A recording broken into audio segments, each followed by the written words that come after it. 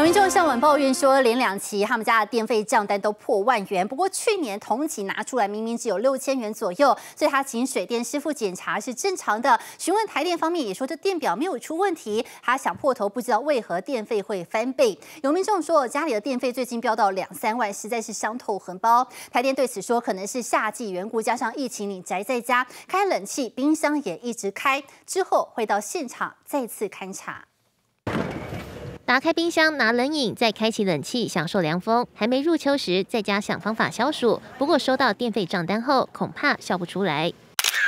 有网友就秀出账单，八月和十月电费纷纷飙破一万三，忍不住大吐苦水，直言二零二零年同期也才六千多元，水电师傅来检查都正常，台电也说电表没问题，想破头也不知道为何电费翻倍。我家电费一个月都两三万，我有打电话去台电查，他也说没问题，可是我们就是比一般人都高，电费应该两三百块吧，因为薪水没有涨啊，然后物价一直在涨，电费暴涨，民众都好有感。不过台电表示检。查过后，电表都 OK，家用电飙高，主因可能是夏天加上疫情爆发，不少人宅在家，冷气不停运转，冰箱一直开开关关，建议换成节能标章家电。另外，电热水壶也可改成烧开水的模式。专家更交战小配包，建议大家每两到三周就要洗一次滤网，这样子可以省下大约百分之七的电。检查一下冰箱的四周，是是保有。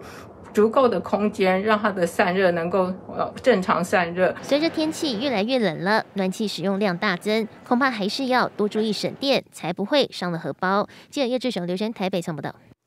而主计总处就在昨天发布十月份消费者物价总指数年增率达到百分之二点五八，其中蔬菜类像是葱一台斤四十八元，涨到一百三十多元；水果类像是莲雾还有释迦，整体也涨了三成。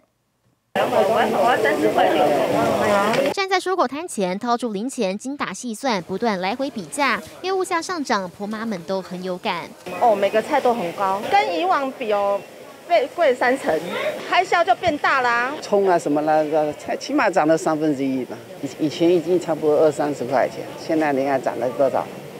涨了三两三倍。采买备料大喊吃不消，毕竟看看这些料理必备食材，青葱来说就从一台斤四十八元涨到一百三十多元，突破一个铜板价。就连提贵的蒜也贵了大约七十元，猛力涨声持续响起。葱蒜啊，那已经涨很久了。葱的话，从三百五到两两百块左右了，生长时间比较长啊。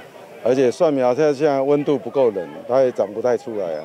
原物料上涨加上气候变化冲击十月消费者物价指数，摊开主机总数的统计，年增率高达百分之二点五八，已连三个月超过百分之二的通膨警戒线。以食物来说，涨幅直逼百分之四，而其中肉蛋各涨百分之五点四三和百分之四点九五，蔬菜和水果也冲破百分之十六，包含莲雾等整体涨三成。发热，因为是气天气的关系。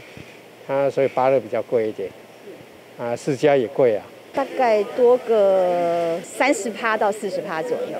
因为说真的都已经双薪了，还觉得很吃力，那就很累了。物价持续飙涨，压不住，冲击三餐支出，家庭开销负担大，荷包急速紧缩，近期最有感。记者黄姐终于台北送不到。